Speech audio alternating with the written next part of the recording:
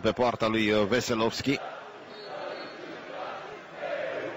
Aganovic, șut și gol! FC Brașov egalează aici pe Cluj Arena.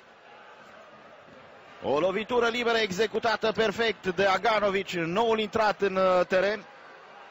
Inspirată decizia lui Adisabo de a-l trimite pe Aganovic în teren, care iasă, îl lasă fără replică pe Veselovski.